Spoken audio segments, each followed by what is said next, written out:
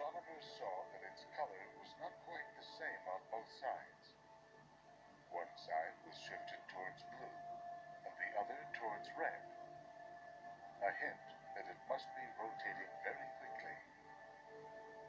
This is because the wavelength of light is changed by the motion of whatever is emitting it. This is also known as the Doppler effect. Think about how the pitch of a train whistle drops as it races past.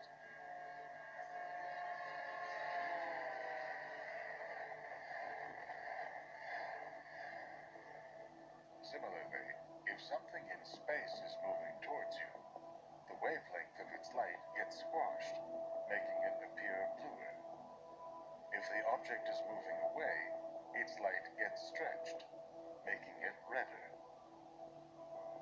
By measuring how much the colors had shifted from one side of the disk to the other, astronomers were able to determine its speed of rotation.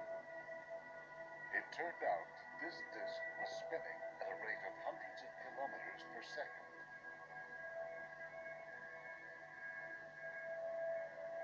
Astronomers concluded that an object must be lurking in its center that's at least 4 supermassive black hole. This was a key piece of evidence in the discovery that supermassive black holes occupy the centers of most, if not all, large galaxies, including our own Milky Way.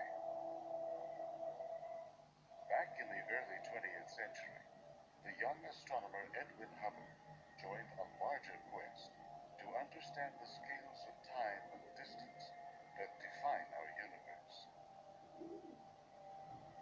make his measurements, he observed stars in the nearby Andromeda galaxy, just 2.4 million light years away.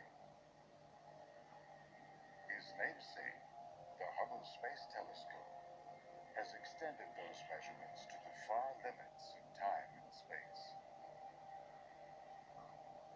In its legendary deep field images, Hubble stared into seemingly blank regions of sky,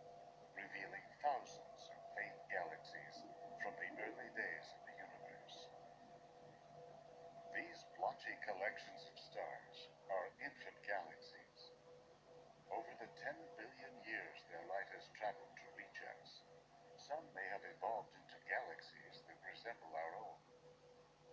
With a supermassive black hole in its center, spiral arms, exploding stars, solar systems, planets, and perhaps even life.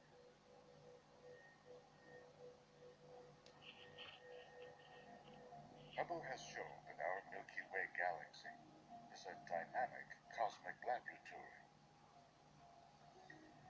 Some of its most striking and beautiful images are giant structures known as nebulae.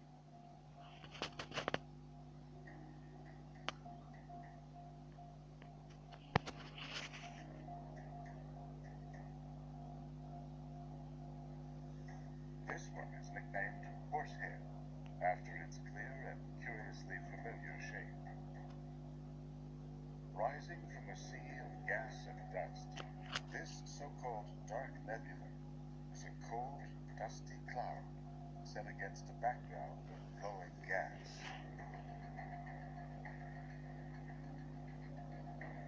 Then there's the famed Eagle Nebula, nicknamed the Pillars of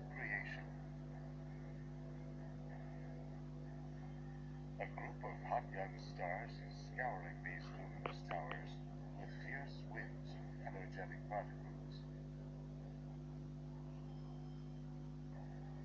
Dense pockets of gas resist these winds. Within them are cocoons of gas and dust where new stars are